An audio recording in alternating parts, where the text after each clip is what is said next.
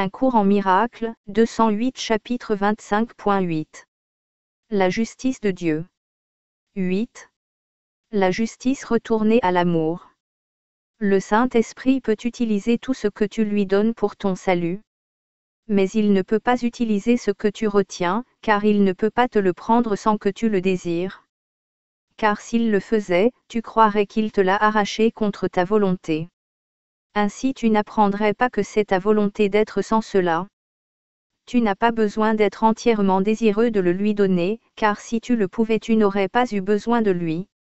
Mais de ceci il a besoin, que tu préfères qu'il le prenne plutôt que tu ne le gardes pour toi seul, et que tu reconnaisses que ce qui n'apporte de perte à personne, tu ne le connais pas. C'est cela qu'il est nécessaire d'ajouter à l'idée que personne ne peut perdre pour que tu gagnes. Et rien de plus. Voilà le seul principe dont le salut ait besoin. Il n'est pas nécessaire non plus que ta foi en lui soit solide, inébranlable, et inattaquée par toutes les croyances qui lui sont opposées. Tu n'as pas d'allégeance fixe. Mais souviens-toi que ceux qui sont sauvés n'ont pas besoin de salut. Tu n'es pas appelé à faire ce que trouverait impossible celui qui est encore divisé contre lui-même. Et peu de foi en ce que la sagesse se puisse trouver dans un tel état d'esprit mais sois reconnaissant de ce qu'il ne t'est demandé que peu de fois. Que reste-t-il à ceux qui croient encore au péché, sauf peu de fois? Que pourraient-ils connaître du ciel et de la justice des sauvés? Il y a une sorte de justice dans le salut dont le monde ne connaît rien. Pour le monde, justice et vengeance sont les mêmes, car les pécheurs voient la justice uniquement comme leur punition, peut-être subie par quelqu'un d'autre mais sans moyen d'y échapper. Les lois du péché exigent une victime. Qui cela peut-être importe peu. Mais la mort doit être le coût et le coût doit être payé. Cela n'est pas justice, mais insanité. Or comment la justice pourrait-elle être définie sans l'insanité, là où l'amour signifie la haine, et où la mort est vue comme une victoire et un triomphe sur l'éternité, l'intemporel et la vie? Toi qui ne connais rien de la justice, tu peux encore demander, et apprendre la réponse la justice regarde tout de la même façon. Il n'est pas juste qu'à l'un doive manquer ce qu'un autre a. Car cela est vengeance, quelque forme qu'elle prenne. La justice n'exige aucun sacrifice, car tout sacrifice est fait pour que le péché soit préservé et gardé. C'est un paiement offert pour le coût du péché, mais pas le coût total. Le reste est pris à un autre, pour être déposé à côté de ton petit paiement, pour expier tout ce que tu voudrais garder et ne pas abandonner. Ainsi la victime est vue comme étant partiellement toi, avec quelqu'un d'autre l'étant de loin en plus grande partie. Et dans le coût total, plus sa partie est grande, plus petite est la tienne. Et la justice, étant aveugle, est satisfaite d'être payée, peu importe par qui. Cela peut-il être justice? Dieu ne connaît rien de cela, mais la justice, il la connaît et la connaît bien. Car il est entièrement équitable envers chacun. La vengeance est étrangère à l'Esprit de Dieu parce qu'il connaît ce qu'est la justice. Être juste, c'est être équitable, et non vengeur. Équité et vengeance sont impossibles, car chacune contredit l'autre et nie qu'elle est réelle il est impossible pour toi de partager la justice du Saint-Esprit avec un esprit qui peut concevoir la moindre particularité.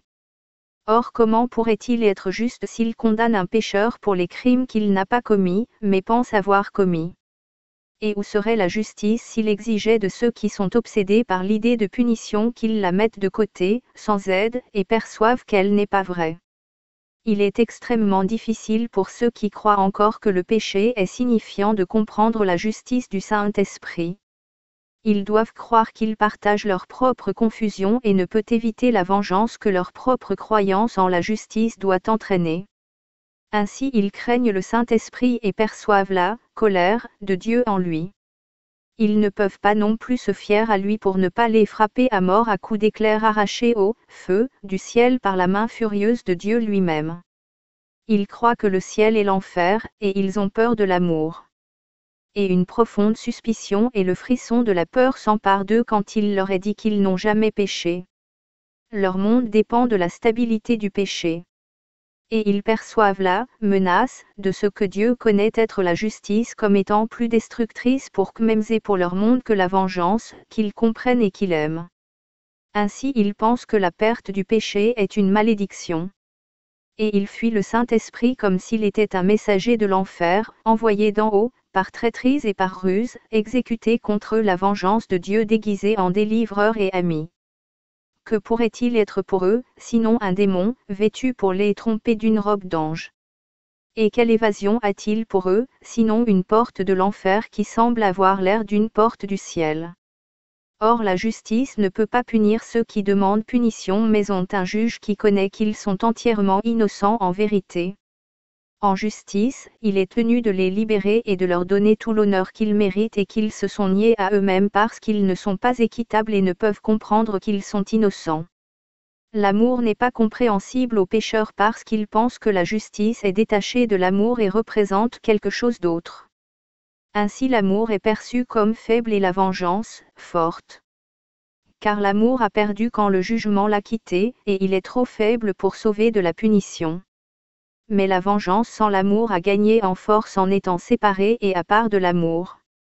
Et quoi d'autre que la vengeance peut maintenant aider et sauver, tandis que l'amour se tient là faiblement, les mains impuissantes, privées de justice et de vitalité, incapables de sauver.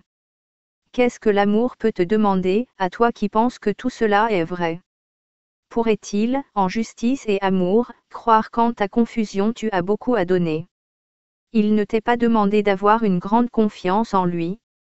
Il ne t'offre pas plus que ce que tu vois, et ce que tu reconnais ne pas pouvoir toi-même te donner.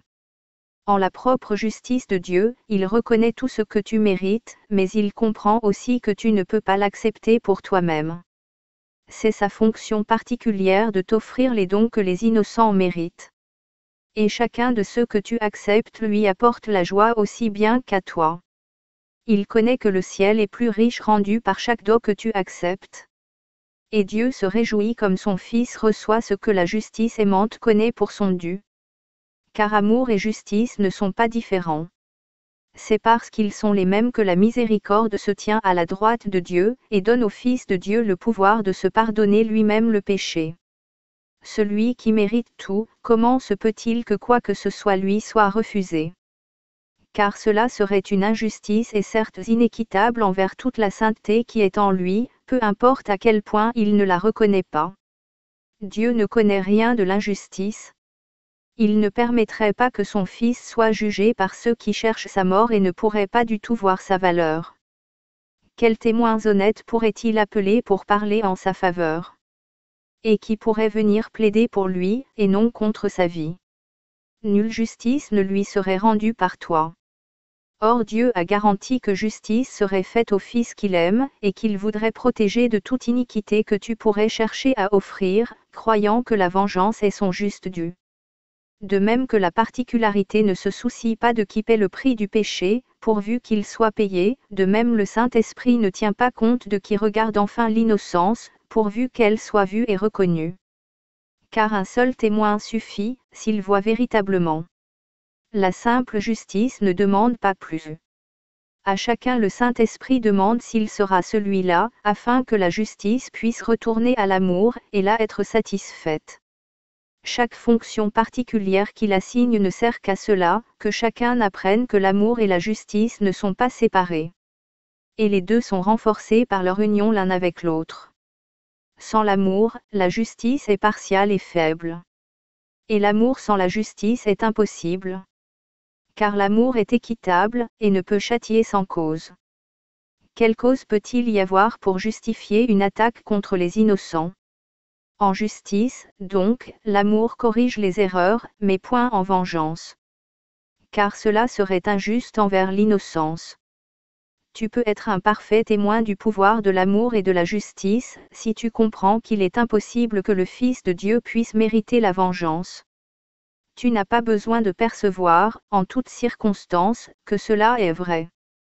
Tu n'as pas besoin non plus d'avoir recours à ton expérience dans le monde, qui n'est qu'ombre de tout ce qui arrive réellement en toi. La compréhension dont tu as besoin ne vient pas de toi mais d'un soi plus large, si grand et si saint qu'il ne pourrait douter de son innocence. Ta fonction particulière est un appel à lui, afin qu'il te sourie, à toi dont il partage l'impeccabilité. Sa compréhension sera la tienne. Ainsi la fonction particulière du Saint-Esprit a été remplie. Le Fils de Dieu a trouvé un témoin de son impeccabilité, et non de ses péchés. Comme c'est peu, ce que tu as besoin de donner au Saint-Esprit pour que la simple justice te soit donnée. Sans impartialité, il n'y a pas de justice. Comment la particularité peut-elle être juste? Ne juge point parce que tu ne peux point, et non parce que tu es un misérable pécheur toi aussi. Comment les particuliers peuvent-ils réellement comprendre que la justice est la même pour chacun? Prendre à l'un pour donner à l'autre doit être une injustice envers les deux, puisqu'ils sont égaux aux yeux du Saint-Esprit. Leur Père a donné le même héritage aux deux. Qui voudrait avoir plus ou moins n'a pas conscience qu'il a tout. Il n'est pas juge de ce qui doit être le dû d'un autre, parce qu'il pense être lui-même privé de quelque chose. Ainsi il doit être envieux, et essayer de prendre à celui qu'il juge. Il n'est pas impartial et ne peut pas voir équitablement les droits d'un autre parce que les siens lui ont été obscurcis, tu as droit à tout l'univers, à la paix parfaite, à la délivrance complète de tous les effets du péché, et à la vie éternelle, joyeuse et complète à tous égards, telle qu'assignée par Dieu à son Saint-Fils. Voilà la seule justice que le ciel connaisse, et tout ce que le Saint-Esprit apporte sur terre. Ta fonction particulière te montre que rien d'autre que la justice parfaite ne peut prévaloir pour toi. Et tu es à l'abri de la vengeance sous toutes ses formes. Le monde trompe, mais il ne peut remplacer la justice de Dieu par sa propre version. Car seul l'amour est juste et peut percevoir ce que la justice doit accorder au Fils de Dieu. Laisse l'amour décider, et ne crains jamais que, dans ton iniquité, tu te prives toi-même de ce que la justice de Dieu t'a imparti.